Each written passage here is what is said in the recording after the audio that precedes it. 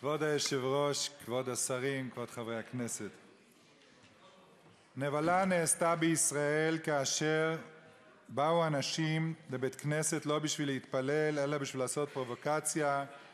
זה קרה בעיר ערד, כנראה המשכו של הכותל המערבי, כנראה שזאת תהיה תופעה, ובאו בשבת עם טלפונים לא בשביל להתפלל אלא כדי לעשות פרובוקציה.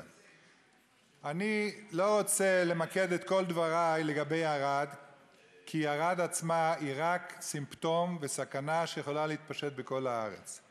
היה הייתה ראש עיר בערד שלא הייתה דתית, לא נציגה של מפלגה דתית, סליחה, והיא ייצגה ציבורים חילוניים בשם טלי פלסקוב, שהיום היא סגנית יושב-ראש הכנסת וחברת הכנסת, יש לנו את הכבוד שהיא יושבת פה.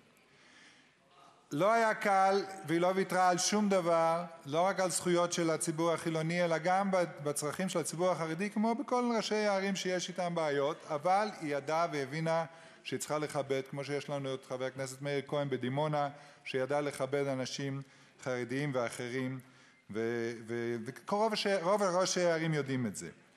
אבל בשנים האחרונות יש תופעה שראשי ערים לא רוצים חרדים בעריהם, עד כדי כך שגילה אתמול חבר הכנסת אלי כהן מכולנו שבשנת 1997, אדוני היושב-ראש, בנו 17,000 דירות בארץ של שלושה חדרים. בשנת 2015 רק 3,000 דירות של שלושה חדרים בכל, בכל רחבי הארץ. הווי אומר שלא רק חרדים לא רוצים, לא רוצים אנשים שאין להם אפשרות לקנות, לקנות דירה של ארבעה וחמישה חדרים. או מעט ילדים, כמו שאומר שר הרווחה. בכל אופן, הציבור החרדי הוא הכי אה, סובל מזה. אבל מה שהיה בערד הוא הרבה יותר חמור. ראש העיר הנבחר עתה היה מוכן לשבת לשיחות קואליציוניות, למרות שבזמן הבחירות הוא עלה על גל של אנטי-חרדיות קשה מאוד.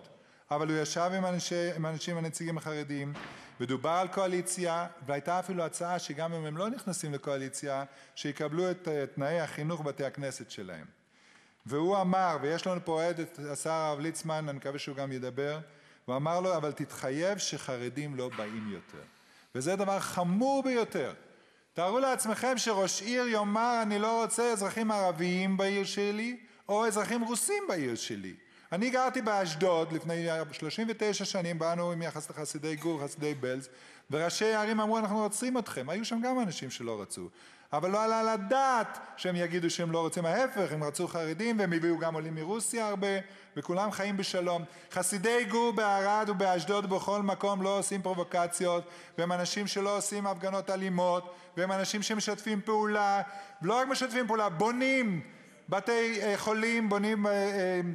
חדרי מיון קדמיים, ולא רק בגלל שהשר ליצמן הוא שר הבריאות, וגם מכון דיאליזה, ותעיד ראשת העיר לשעבר, לכל תושבי ערד הייתה סכנה, הרב ליצמן עמד ראשון שם, כך שאין פה עניין של אנשים שמפריעים לאחרים רוצים להשתלט על עיר. וראש העיר הזה הוציא צווי הריסה לסוכות, דבר שלא היה בהיסטוריה כמעט. מספרים בהיסטוריה שבית-המשפט נתן שעד שבעה ימים צריך להרוס את הסוכה, פה בית-המשפט נתן חמישה עשר יום.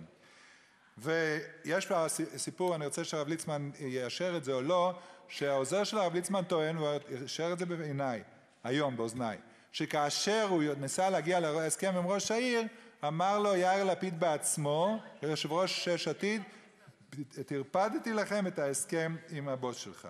ולכן, אדוני היושב-ראש, אני בא ואומר, הסיפור של ערד הוא סיפור כאוב וצריך לסדר אותו, ואני מקווה שיסדיר אותו, ואני רוצה לשבח את חבר הכנסת מאיר כהן שאמר שהוא רוצה להיכנס לעניין הזה.